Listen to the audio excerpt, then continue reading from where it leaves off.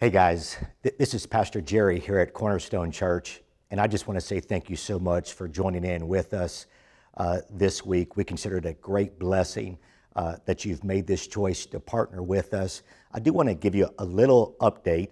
I want to make you aware that we're changing our website from cornerstonechurchconroe.org to cornerstoneconroe.org. Once again, the new one's going to be cornerstoneconroe.org, and this will go into effect uh, here in the, the next few weeks. But, but once again, thank you so much for making that choice to be a part of, of Cornerstone Church. I, I feel like it's a, a great blessing. And, and I want you to know that one of our, our great desires here at Cornerstone Church is really just to help build up the body of Christ, to strengthen each one of us as individuals as we're desiring to, to, to, to, to, allow Jesus to transform our lives. And I, I believe one of the greatest ways that Jesus can transform us is through His Word. And that means that you and I, we got to be faithful to getting into God's Word. So I, I pray that today's teaching would, would be a great encouragement to your life. But once again, because we believe in transformation, I, I also pray that uh, today's message might, might even bring some realignment into your life, because that's, that's my desire. I, I want to continuously grow in my relationship with God, and I, I believe you, you feel the exact same way. So let me just once again say thank you for joining us, and I pray that uh, today's message is a great help and a great blessing to you. If you have your Bibles, go ahead and, and take them out with me this morning. Uh, I'm going to ask that you turn to the, the very last book of the Bible, the book of Revelations. Uh, we're going to be in the very first chapter, picking up in the ninth verse, Revelations 1 9, uh, here in, in just a few moments. Uh, but as I, I, said earlier, let me say one more time welcome to our, our Resurrection uh, Sunday service here at Cornerstone. I, I, imagine as you look around, uh, you'll probably see a lot of familiar faces and probably see some new faces today. We might even uh, recognize, as we did even in our first service, uh, people who have moved away for uh, various callings upon their life, and they're back in town really just for this special weekend, celebrating uh, with their family. Uh, and in the joy, the joy of recognizing one another, greeting one another, welcoming one another, I, I want to remind you this morning that there is one really special guest that's here. A really special guest. I, I, let me just say it this way I think this is the one day out of the year that we understand in a unique way we celebrate the resurrection of Jesus Christ from the grave. And in this, I believe it's altogether proper that Many people, such as we recognize this morning, would, would come to the house of the Lord and, and worship as one on this day that we recognize as Resurrection Sunday. I would also say it's most appropriate that we would have a good number of people with us this morning because I, I believe, due to various circumstances, various, various limitations of life, if somebody could choose one Sunday out of the year to go to church, I believe that today would be the day that they would choose. If I can only get one Sunday a year, and, and, let me say, I'm so thankful that I get the opportunity to, to go to church many Sundays a year, but if, if I only got one Sunday out of the year to go to church today, Resurrection Sunday would be that day. You see, the resurrection tells us that Christ's death on the cross was not a disaster. The resurrection also tells us that love is stronger than hate, and that in God's heart, life is stronger than death. So today we recognize that the resurrection, we come to honor the living Christ who desires not, not just to be with us this morning in church, but, but to dwell with us, to live with us every day within our hearts. And he made that promise to his disciples when he makes this statement, Matthew 18 20, for where two or three are gathered in my name, there I am in the midst of them. And I think if we look around the sanctuary this morning, there's more than two or three that's gathered. And who is the special guest? I believe it's Jesus. I want you to know Jesus is here with us this morning. I really believe he's with us every Sunday. And as I said earlier, I believe he desires to dwell, to live within us. But if we look into the life of the disciples, even the early church, as the years begin to stretch, stretch into decades following the resurrection of our Lord, some people became disillusioned. Even some would describe that they became depressed. This happened particularly as they experienced persecution and great suffering because, because of their loyalty to the lordship of Jesus Christ. The book of Revelation was given to John, referred to as the beloved apostle, while he was in exile on the Isle of Patmos. And he makes this statement. We're going to read all of it in just a moment, but he makes this statement in the 10th verse I was in the Spirit on the Lord's day. And there came to the eye of his soul a vision of the living Christ. How do we know? The 13th verse reads In the midst of the lampstands was one like the Son of Man. The word translated in the midst in Revelations 1 is the same word that we find in the Gospel of Matthew, the 18th verse, which I read just a moment ago. Today, I, I believe we need to recognize and, and to respond to the promise of the living Lord to, to meet with His people, to meet with each one of us when we come together for prayer, for praise, for proclamation. Can I also add this? For purification that comes when we choose to make a confession unto the Lord. And, and I want us to jump right into the scripture this morning. Look at it with me Revelations chapter 1. Let's start in the ninth verse. It reads, I, John, am your brother and your partner in suffering in God's kingdom and in the patient endurance to which Jesus calls us. I was exiled to the island of Patmos for preaching the word of God and also for my testimony about Jesus. Verse 10 It was the Lord's day, and I was worshiping in the Spirit. Suddenly, I heard behind me a loud voice like a trumpet blast. It said, Write in a book everything you see and send it to the seven churches in the city of Ephesus, in, in, in Smyrna, in Pergamum, Thyatira, Sardis, Philadelphia, and Laodicea. When I turned to see who was speaking to me, I saw seven gold lampstands. And standing in the middle of the lampstands was someone like the Son of Man. He was wearing a long robe with a gold sash across his chest. His head and his hair were white like wool, as white as snow, and his eyes were like flames of fire. His feet were like polished bronze refined in a furnace, and his voice thundered like mighty ocean waves. He held seven stars in his right hand, and a sharp edged sword came from his mouth, and his face was like the sun in all its brilliance when I saw him, I fell at his feet as though I were dead. But he laid his right hand on me and he said, Don't be afraid. I am the first and the last. I am the living one. I died, but look, I am alive forever and ever, and I hold the keys of death and the grave. He continues, verse 19 write down what you have seen, both the things that are now happening and the things that will happen. This is the meaning of the mystery of the seven stars you saw in my right hand and the seven gold lampstands. The seven stars are the angels of the seven churches, and the seven lampstands are the seven churches. Let's pray. Father, we thank you for your word this morning. God, I pray over these next few moments that we capture your revelation. God, that which I believe that you have appointed for us on this beautiful Resurrection Sunday. Lord, really above all things, just trusting that your word would accomplish what you've purposed for it to accomplish, and that your will would be done in us and through us. In the name of Jesus, I pray. Amen.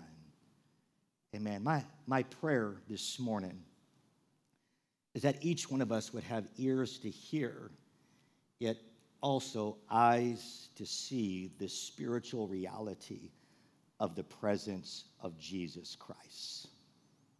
And I've got good news for you. I only have two thoughts for you.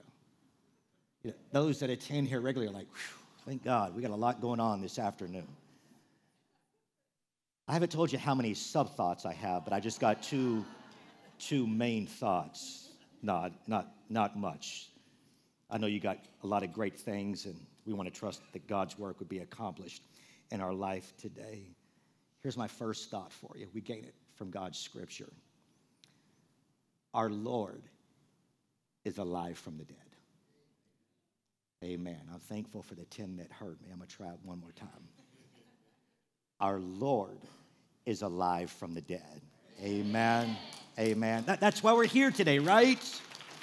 That, that, that's what we've come to celebrate is the resurrection of our Lord and Savior Jesus Christ. We, we recognize that He's not merely a historical figure to whose great deeds we look back with, with admiration, but yet He's alive. We say it again, he, He's alive, and I pray that we allow Him to literally to become the Lord of our lives. We recognize that He's alive and He has authority, obviously, over death and the grave. We often speak of him as one who was, but I'll remind you again this morning, church, he is also the one who is and for who and who also will forever be. His residence on the earth was only parts. We recognize this only part of his existence. His life doesn't begin there at Bethlehem, nor, nor did it, excuse me, did it conclude when he died on the cross or then when he ascended back into glory with God. He is essentially the living one yesterday, today, forever. He will always be the living one, the living king within our lives. We go back to the book of Revelations for just a moment this morning, and we recognize that John, John, the beloved apostle, saw the Lord in the midst of the churches. In the person of the Holy Spirit, He came to abide with us, and we also recognize to abide within us. He is not removed by an immeasurable space from where we are living today or where we might be laboring. He, he literally is in the midst of us. We would go as far as to say this He is quite near to each one of us. He's accessible every hour, can I say it every every minute? He's accessible every second of every day. And I also recognize that he can observe all of my activities. In the fullest sense, once again, we simply say Jesus is here with us. John saw Jesus in the midst of the churches as the ruling Lord. He's, he is described in terms that that oftentimes emphasize his sovereignty. During his earthly ministry, he exercised authority over diseases, he exercised authority over death. Simply over life itself, even natural, natural events of life. He came he came to demonstrate the love of God Himself. And in doing so, we recognize that, that Jesus touched many lives. And I, I would remind us this morning that, that I believe that Jesus is here this morning, that, that lives would be healed, that lives would be, that lives would be restored, that, that lives might would be forever changed. Why? Because once again, we recognize that Jesus is alive. My second thought for us this morning this is it. As I've already said, our living Lord has come to church today. He's with us in church this morning. We've read it here in Revelations 1 as, and if we were to take time and continue in Revelations 1 into chapter 2 and chapter 3, we would, we would have the opportunity to read the seven letters to the churches there in Asia Minor, we identified the cities that John wrote after his vision of the Lord. And if we were to take time and to read each one of these letters, we would then discover the purpose, the purpose that Christ has in being with us in church this morning.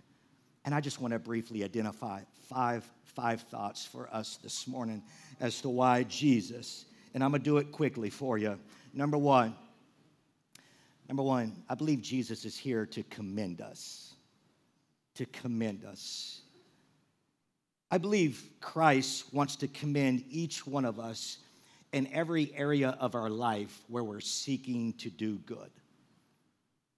In doing so, he wants to affirm and I believe to encourage each one of us.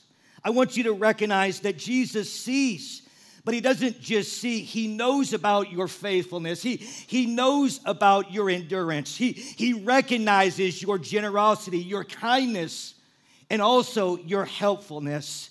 And because Jesus sees and he recognizes all of this within each one of our lives, I, I believe that Jesus is here to commend us. Secondly, I believe Christ has come to correct us, to correct us. Now, let, let, let, me say this. He's here to correct us, not to condemn us, right? We know this, John 3 17. For God, God did not send his son into the world to condemn the world, but to save the world. And if there's anything that I've learned in my journey of life, I need some corrections, right? You know, I, am I, I made this statement earlier. It's hard for me to fathom, but here in a few months, I'm not going to say how many months, but a few months, I'm fixing to hit a, a really big number, Randy. I'm fixing to hit 50. Now, when I was younger and I looked at people who were 50, don't take this in a negative way because I'm now almost one of those. I thought those people were ancients. I was convinced that I would never get there. One, one way, just through ignorance, being crazy, who knows, whatever, maybe Jesus would come back. I, I thought there's, and hear me, I, I, I, may not yet. I mean, I got, I got a few months to go before I, I get there, but if the Lord tarries and I don't do anything too drastically crazy, I may actually get there. And here's what I've learned through the journey of 49 and approximately half years. I've needed a lot of correction. Anybody else? I mean, obviously, when I was like 12, 16, 18, 21, I didn't think I needed any help. But the older I've gotten, the more help I realize I need.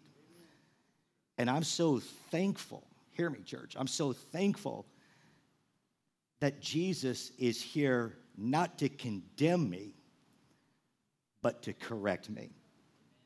I, I, I think we might not want to admit this, but I think we all realize that there are times that we need to make adjustments, maybe in our attitudes, our ambitions, our actions, sometimes even our speech. And I just want to remind you Jesus is here to provide the help that each one of us needs, the correction that we need. Number three, let me give it to you. I believe Christ came to cleanse us, and I'm so thankful for this. You know, when we look back over the life of Jesus, we recognize from time to time in the earthly life of Jesus, he, he often would offer forgiveness. And there were yet even times that he granted forgiveness to those who were willing to make that confession of faith, recognizing Jesus as as their Savior, recognizing Jesus as the Lord of their life. I believe every time we come to God's house, we need to do some, some heart searching and put forth a sincere effort to confess that I need help, right? That, that, that maybe I've done something that's amiss. Maybe I've, I've done something that's wrong. And I'll say it again uh, Jesus is not here to condemn, just like Jesus is here to correct. I believe Jesus is also here to provide the cleansing that we need. I'm so thankful. I'm so thankful. We sing about it that there's still power in the blood of Jesus to provide the cleansing that I need, to provide the cleansing that each one of us need. Let me, let me give you number four. I believe that Christ came to church to comfort us, to provide comfort. I realize it's a beautiful, beautiful Sunday, Resurrection Sunday.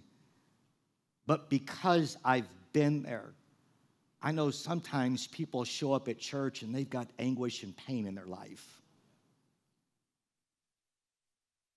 Been there. I, have been in that position. I've been in that place where I, have literally been surrounded by, by groups of people, large groups of people, yet at the very same time, I just felt extremely lonely. Like I was all by myself. And that, that feeling brings pain, sometimes grief into our lives. Can I remind us? I believe Jesus is here to provide comfort.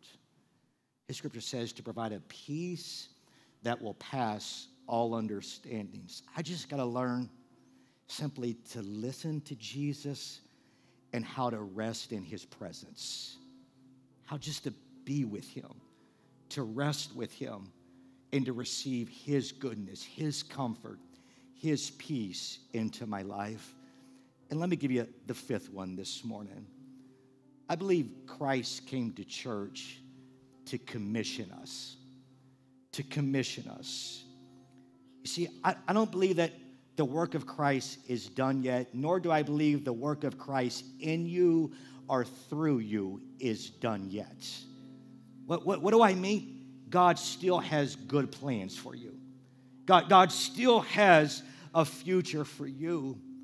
And not only do you need to hear this, I believe we're surrounded by a needy world that needs to know about the love that took our Savior to the cross and then the power that raised Jesus from the dead. I'm convinced today, more than ever before in my life, I'm surrounded by people that need to know Jesus. I, am surrounded by people that, that need to hear the good news about Jesus. And I believe that Jesus has come to church this morning to commission some of us to go out and to begin to share the good news, to go and tell somebody what Jesus has done for them.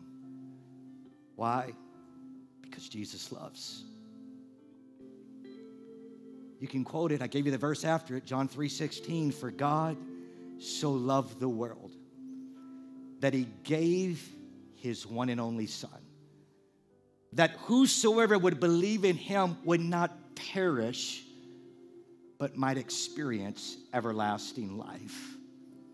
And Henry, that, that gift, that indescribable gift, is available for every single one of us this morning. That's why Jesus is here. He's here. You see, I'll say it one more time. I believe Jesus came to church today. If you haven't trusted him as the Savior and the Lord of your life, could I, could I remind you, could I encourage you this morning? He, he desires to be that within you. He, he wants you, he came to church to provide the cleansing that was necessary. He, he desires to forgive, He desires to, to restore every life that is present. I would commend you just as Jesus would. If you've already received him as the Lord and the Savior, I, I, say congratulations. I, I celebrate with you today, but, but maybe, maybe he has some correction that's needed. And I just say, Lord, I surrender to you. I'm, I'm here for whatever, whatever you have for me today. Maybe, maybe He is your Savior, Lord. You just need some comfort. He's here to provide that once again. And I'll say it one more time. I know He has greater things, greater things in store for your life today. Could I invite you to stand with me once again this morning, church?